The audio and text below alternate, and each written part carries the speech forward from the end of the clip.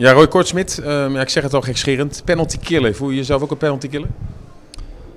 Ja, ja, ik voel me niet zo, alleen eh, de cijfers liggen niet, denk ik. Ja, ik sprak zojuist Sanusi, die zegt al ja, als het dan een penalty is, dan hebben we zoiets, nou die hoeft er echt niet in. En dat, nou, dat gebeurde tot twee keer toe. Ja, alleen dan moeten we niet eh, zomaar penalties gaan weggeven van eh, Roy pakt hem wel even, want ja, dat zal niet, niet het geval zijn, denk ik. Hoe heb je het ervaren? Eerste inzet van Weghorst, die keer je en dan zegt scheidsrechter Mulder opnieuw nemen. Wat gebeurde nou ja, ik was, eh, ik was eh, nog een beetje aan het vieren en eh, ik stond al eigenlijk klaar voor de, voor de corner. En toen zag ik de scheids met zijn hand naar de penaltystip wijzen. En de grens met zijn met zijn vlag omhoog, dus ik, ik wist wel snel dat er iets aan de hand was. En eh, ja, toen ging ik verhaal halen en toen zei hij dat ik eh, te snel eh, van mijn lijn afkwam. De tweede keer je ook. En volgens mij doe je overigens hetzelfde. Had hij misschien wel nog opnieuw kunnen nemen. Dat hoorde ik net ook van, van een andere interviewer, dat ik gewoon precies hetzelfde deed. Dus. Maar bij die eerste ook, eh, nou ja goed, dat doe ik altijd bij een penalty. Als keeper zijn dan maak je altijd een heel klein stapje naar voren. En volgens mij eh, was, dat, eh, was dat niet overdreven vroeg, dus eh, ik vond het een beetje raar. Wel knap dat je ze allebei pakt. Wist je dat hij de tweede keer die hoek zeker niet zou pakken? Die, die hoek links naast je? Zijn favoriete hoek is rechts van mij, waar ik de tweede pak. Dus ja, als je een beetje, een beetje logisch nadenkt, als je, wat, als je de eerste mist, ben je, krijg je iets meer zenuwen, denk ik.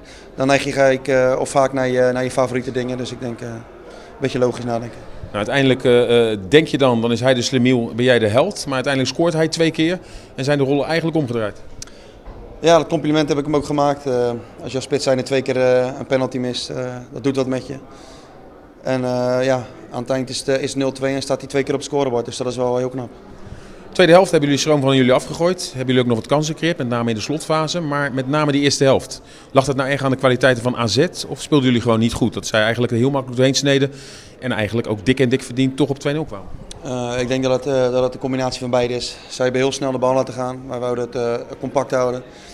En we stonden een aantal keer stonden we laag, alleen dan niet compact genoeg. En dan zie je dat hun er gewoon de kwaliteit hebben om daar, daar doorheen te voetballen. En dat hebben ze, dat hebben ze wel heel goed gedaan, vind ik. Toch in die tweede helft denk je, als die aansluitingstreffer, valt, kan het nog wat worden. Maar goed, hij viel niet. Had je dat ook van als het 1-2 wordt, dan kan het nog? Ja, tuurlijk. Ik bedoel, eh, het publiek eh, ja, die heeft heel de wedstrijd eh, achter ons gestaan. En ook, eh, ook complimenten daarvoor.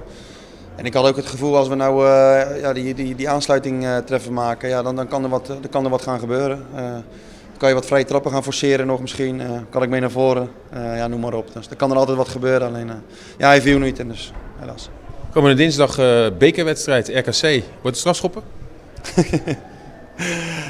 Ja, ik zou het prima vinden, maar eh, laten we maar gewoon eh, 0-3 winnen.